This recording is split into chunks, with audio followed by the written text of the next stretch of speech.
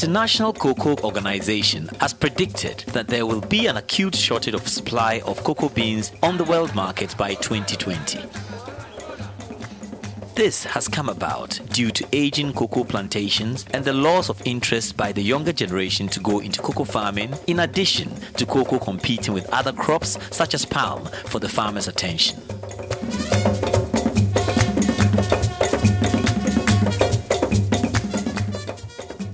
On the consumer end, the increase in appetite for chocolate in emerging markets such as Asia is placing a heavy demand on the crop. The benefit of this to the producer countries mean higher prices and a guaranteed demand for their produce.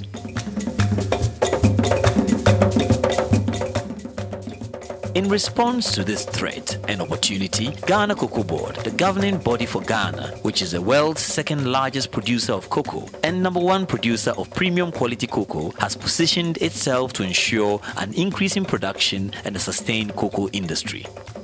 You know, in the past, Cocoa Board used to buy the fertilizer, subsidize it, and then uh, uh, get some individual companies to sell it to their farmers. This time, myself and management with the support of the governing board. You know, we have a new governing board. Um, we took a decision that in order to motivate the cocoa farmer that over a century has supported um, the economy of Ghana, we would like to give them free fertilizer. And uh, our extension officers are also involved educating the farmers on how to apply the fertilizer. The importance of the use of fertilizer and the application of good agronomical practices such as the use of good seedling, tree shading, pruning, mistletoe control weeding, and flood control measures by cocoa farmers cannot be overemphasized if the industry wants to experience financial growth that will benefit all stakeholders. To ensure that the free fertilizer is applied properly and be of benefit to the farms, Cocoa Board has put in place strict programs and farm selection criteria. For young cocoa, non-bearing cocoa, cocoa which has not started bearing uh, uh, uh, the fertilizer that is given is only to help the growth of the seedlings or the young trees. So we give ammonium sulfate. And, and that one you give uh, uh, one bag per acre. For the bearing cocoa, which is the way we refer to as the mature cocoa, uh, up to the age of 30, uh, qualifies to receive the fertilizer, provided it doesn't have diseases. Following the introduction of the free fertilizer distribution scheme, Cocoa Board has also put in place measures to ensure the fertilizer reaches the assigned farms and is applied only on farms that will benefit from it. The selection for the, the distribution of the fertilizer is based on what happens at the farm level, not who the farmer is. Agriculture officer no frɛ me sɛ aban pepɛ sɛ mesɔkyɛ ɔma no nyakuafoɔ no fertilizer free a ɛnyɛ sika ampa ɛna ɔma mbɔ dawuro ɛna mfrɛ akuafoɔ no ɛna ɔma metwerɛ ɛyɛfoɔ nyina dim sɛ akuafoɔ no nyina ɛdi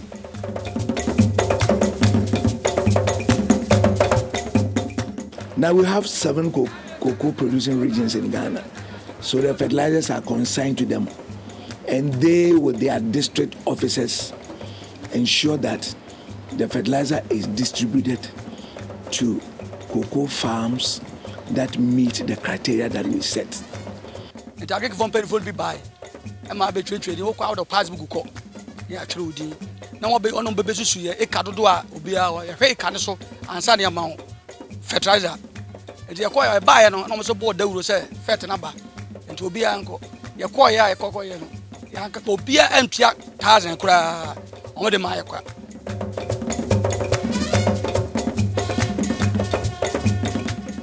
Normally we first we register the farmers the uh, uh, prospective farmers. Then those whose farms will be measured they are also uh, we have the records because the measurement it takes time. Sisi a no deɛ yɛahwɛ wɔn mu a momfuo no ɛfɛ ɛti mu na ko fertilizer no yɛde ɛma wɔn mu a ɛbɛboa ama koko nso ɛtumi aso dodoɔ. Firi sɛ nhyɛyi mu no ɛkyerɛ sɛ obi a ɛyɛ wɔn na afu ase anaasɛ wɔntwa nkran pan ɛnyina ɛne sɛ yɛma ne bi haa nti yasalɛte wɔn mu a wɔn mfuo no ɛyɛ fɛ ɛna yɛde saa wɔ sɛ ɛdi ɛdi ka de ama wɔn mu. Nti yɛkɔ so etu wɔn waka no nso ɛfo sɛ wɔn nso ɛne wɔn di yɛ ho. Na nyakopɔ yɛ adoma na deɛ bɛbɛ biara no nso no yɛsa apeke nipa no bi na wɔn nso anya bi.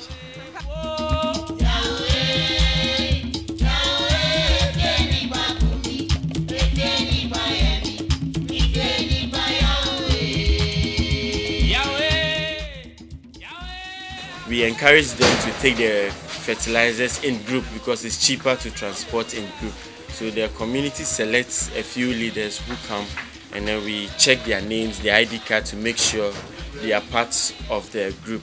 After they're going through that, then we look for their total, the vehicle that they come with, how many bags the vehicle can load, and then we issue that to them. And then lastly, they take their way bills, sign the agreement form, and then the vehicle is off to the community.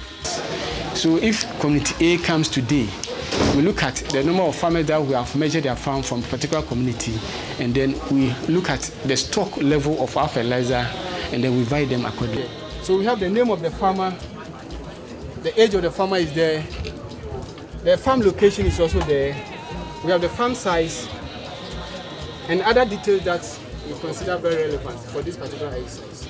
And then the type of fertilizer that we give to the farmer is also being captured. The quantity of bags that we give to the farmer is also there.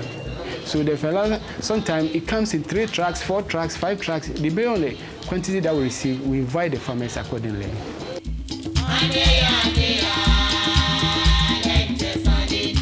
It is interesting to note that despite the great benefits derived from the application of fertilizer on cocoa farms, a number of farmers were not taking advantage of the subsidized fertilizer being provided by Cocoa Board in the past, with the farmers complaining they could not afford them.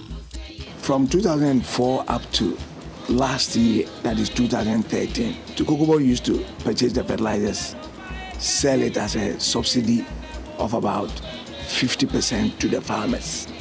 But of course, fertilizer is not cheap. It means that every year we saw increases in the price of the fertilizer. Even so, even with a subsidy, the price to the farmer continued to increase. And we, farmers found it difficult to purchase even at a 50% subsidy. It became difficult for most of the farmers to get Uh, fertilizer because of the finances that is required, even though it is subsidized to buy the fertilizer. So this year, Cocoa Board realized that it's unable to get the farmers to apply the one the required quantity and also to get it on the right time. And they were not also getting credit facility for the fertilizer, and therefore it was very difficult for them to apply the fertilizer in most of the cases.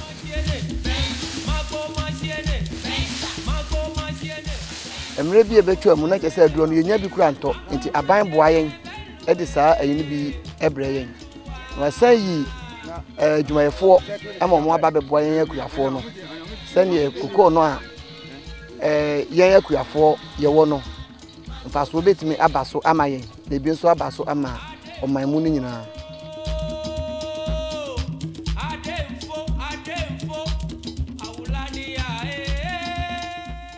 So if a farmer is, uh, to receive five bags or six bags, uh, we the forms then come back to the district office, to the regional office. They call back to check. Or they call the farmer. Your name is uh, what bar? What is the size of your farm? How many bags were delivered to you? Since the free fertilizer scheme was introduced, to date, Cocoa Board has distributed a large number of fertilizer to over 90% cocoa farms across Ghana. This year we bought the for the granular uh, fertilizers, which is the one that you, you broadcast. We bought 1.6 million bags. Uh, the, the granular fertilizers are the Asaase Wura, Cocoa Feed, and Cocoa Master.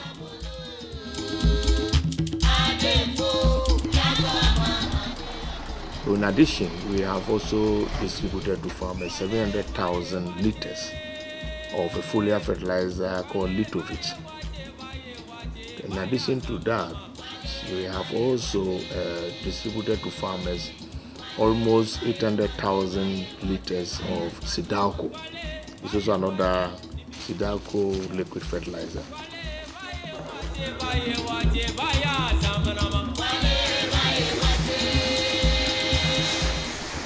Now, these fertilizers, you put them together, is fertilizing over 1 million, nearly 1.1 million hectares of cocoa, which around 64% of the tree stock. And this is historic because we believe that the system where we took over Cocoa Board took full control of the distribution and management of the fertilizers is serving well because by this time last year, most farms have not received anything. We have already received Asaase Wura and cocoa feed, totaling 1,313 bags, and it has been distributed to farmers, and all of them have been applied. Interestingly, the scheme has minimized the incident that used to occur in the past, where subsidized fertilizer were smuggled by farmers to neighboring countries for resale. And as part of uh, the checks, we have designed a form for them. And, and on the form, you have uh, the name of the farmer, uh, the fertilizer allocated, the, that's the quantity of fertilizer allocated, the size of the farm should be there then the signature of the farmer and the person who issued the fertilizer's uh, signature will be there. Then we have the telephone numbers of the farmers. In fact, the trucks were being followed all the way from the warehouses to. So when we when we do the distribution. And then along the route to where the destination, the final destination, they also contact their fellow security men, either the police or the BNI. So when the vehicle moves, they also send information. So they have vantage points where and where there are security men who will monitor whether the vehicle has passed after a period of time. Before they even get to the district, the district officer is informed of the consignment I'm also informed ahead of even the, uh, uh, the vehicle taking off. Then I also communicate to the, the district officer.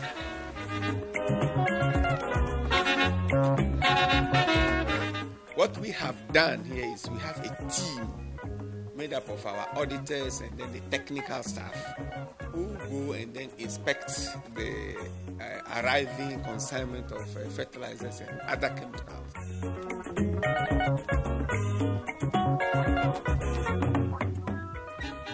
Then at the district, there's a district uh, CODAPEC High Tech Task Force, chaired by the district officer, the regional, uh, the district chief farmer, the, the best woman farmer, the district extension coordinator, quality control officer in the district, and then the, the, the, the chief farmer.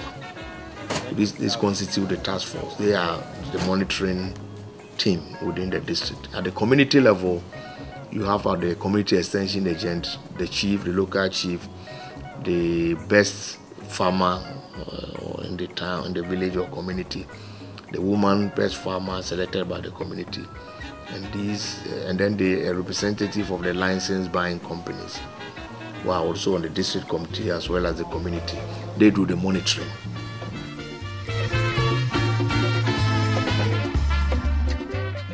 At least three of the members will have to sign against us having received the consignment. The district officer, the BNI uh, officer there, and then the, even the police, they are involved. The offloading, everything is uh, checked to ensure that the exact quantity is delivered. So if farmer A is to take 20 bags, depending on his acreage, they make sure that he gets the 20 bags. Farmer C may have to about 30 uh, uh, bags because he's having maybe uh, 10 acres because it is three bags per, uh, per acre. He also takes his 30, and likewise they distribute.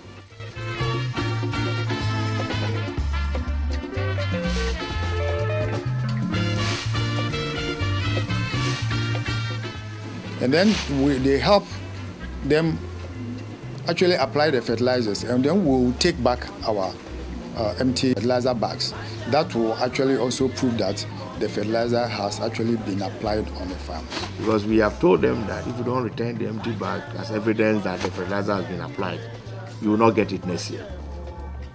And I think they, they, that, that has really that has really helped. So they didn't do it on their own; they did it under the supervision of our community extension agents. So this is some sort of monitoring. Each farmer monitors his neighbor so that you cannot divert your fertilizer. And at all instances, so there is uh, a cocoa health and extension uh, officer there to actually supervise and oversee the application of the fertilizers.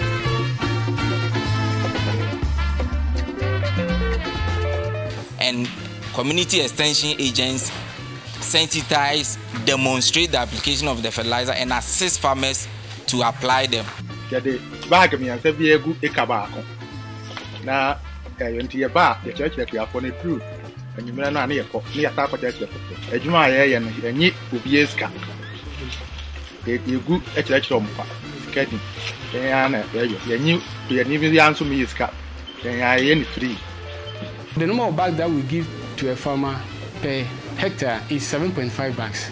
So if your farm size is 7.5 hectares, we multiply 7.5 times 7.5. If it is 2.5, we measure 2.5 by 7.5, and that will amount to the quantity of fertilizer that each farmer is supposed to get.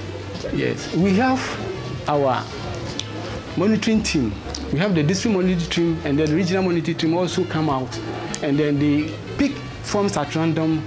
They go to the field, we remeasure and check on the number of bags that we give to the farmers. The high tech, the CODAPEC is under the supervision of district tax forces. And these tax forces are also involved in checking the smuggling of fertilizers.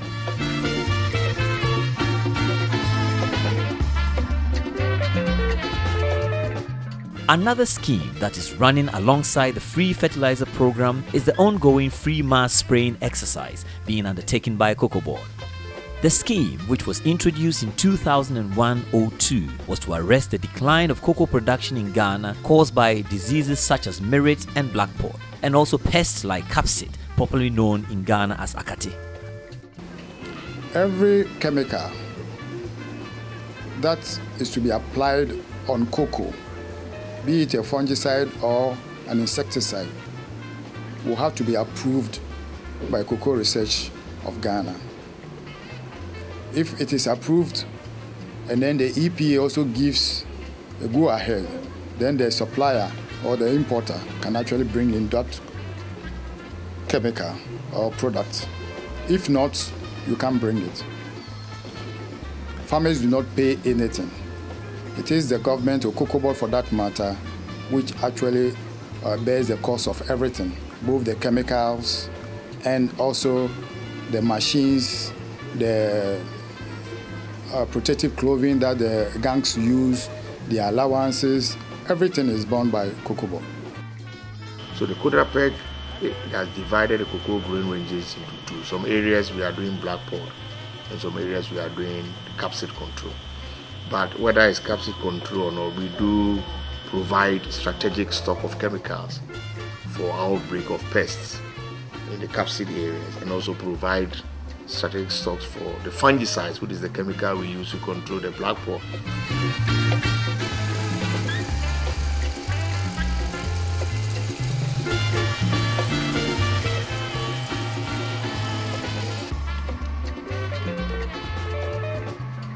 Distribution of inputs is ongoing. As at now, we have received 2,730 cartons of Akate Master, which will be enough for the first round of spraying. And then we have also received some spraying machines for distribution to the various gangs to assist their work. We have also received premix fuel, uh, which is about 17,757 liters, which will be enough for all the spraying gangs. We have also received some protective clothing, overalls, hats, goggles for distribution to all the gang sprayers because government is very particular about their health so that they will use it before they spray the farmers' farms. This, when it comes to the spraying, we have got gangs, spraying gangs. It's a spraying gang supervisor, but these are all, they all operate under the community or the district task force. Cocoa Board's free fertilizer scheme has been received with great excitement and appreciation by the farmers who already are petitioning Cocoa Board to ensure the scheme continues. To go around, the farmers are really, very happy about the whole uh, uh, project. About their ration, you see the rush for the and how they are applying. They are very, very appreciative of whatever Cocoa Board and the government is doing now. So in fact, they, all, the entire region they have endorsed it very very well. I wish the farmers are here to to support me, but honestly, the exercise has been. Uh, I don't know whether to use the word. Even success is uh, an underestimated word. It has brought new life into the cocoa cultivation to our farmers uh, this year. I remember the other day we went to one of the communities and uh, we're just asking them what just as you have asked me and then they said at least this year they have seen the chemicals because if you don't have fertilizer you can't harvest more cocoa and so far as ghana cocoa board started with this application. A lot of the youth are coming into the cocoa system. Na mo siko aboa me paa visa tala de de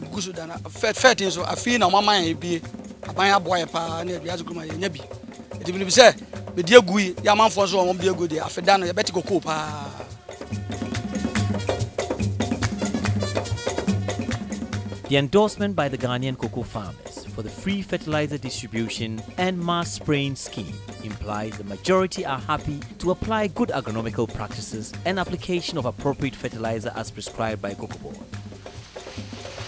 Farmers are allowing their aged or diseased cocoa trees to be cut and replanted with new high-yielding, low gestation cocoa hybrid seedlings with the support of Cocoa Board. In all, Cocoa Board in 2014 distributed the following quantities of fertilizer across the seven cocoa producing areas. Western North, 605,942 bags. Western South, 346,293 bags. Brong Ahafo, 294,289 bags. Ashanti, 191,194 bags. Central, 76,511 bags. Eastern, 71,993 bags. Volta region, which is the smallest of the cocoa producing areas, had 13,778 bags.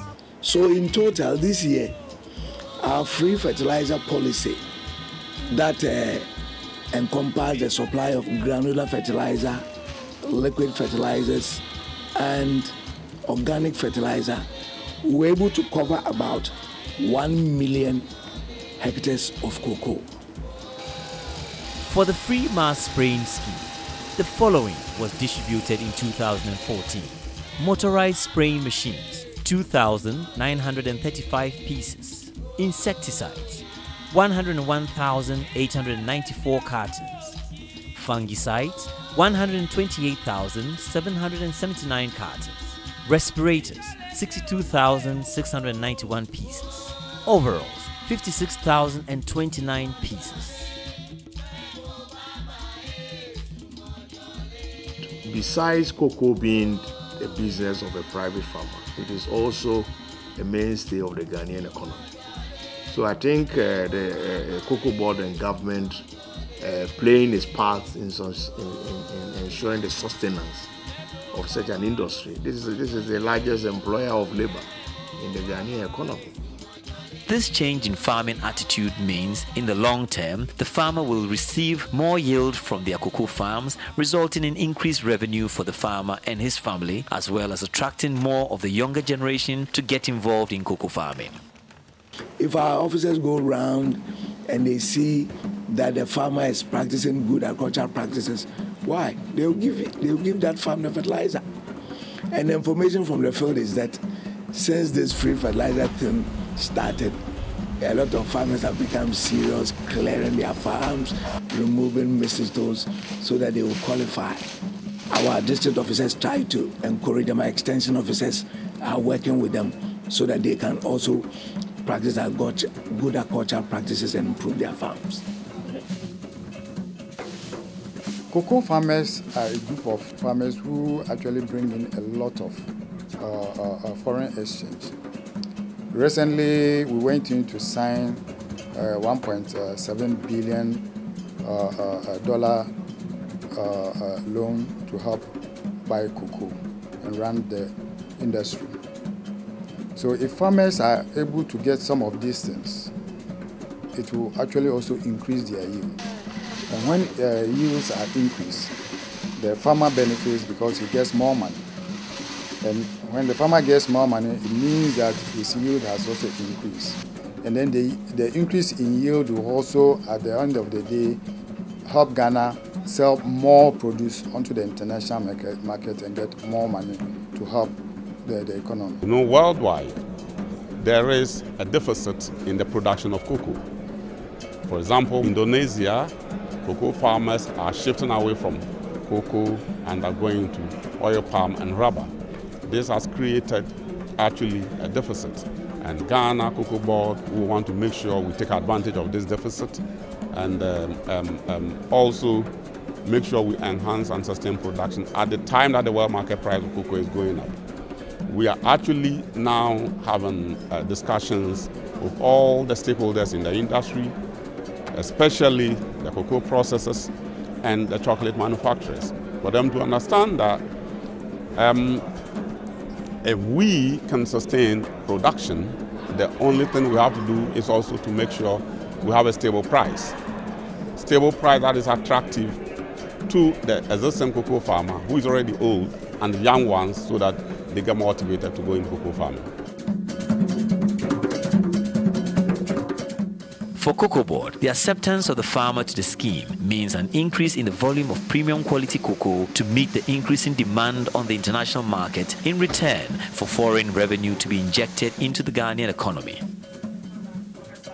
This will give Ghana Cocoa Board the opportunity to continue to be a major foreign exchange earner for Ghana.